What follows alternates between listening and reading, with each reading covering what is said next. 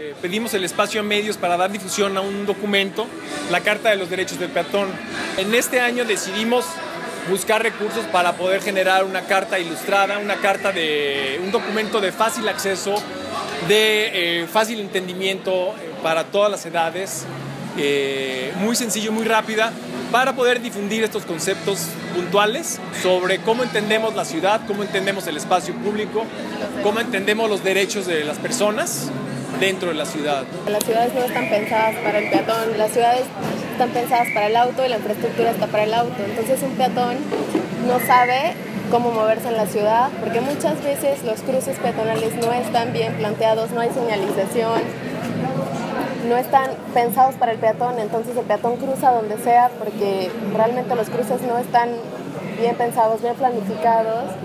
no hay semáforos peatonales, no está la infraestructura de la ciudad diseñada para el peatón. Se sigue pensando en, que resolviéndole la vialidad al auto se van a resolver los, problemas de la ciudad y esa visión es totalmente errónea. Y precisamente este documento, eh, a través de ilustraciones muy sencillas, eh, buscamos hacer una ciudad accesible para todo tipo de personas y pues nosotros como ciudadanía no nos podemos quedar con los brazos cruzados y por eso emprendemos este tipo de acciones.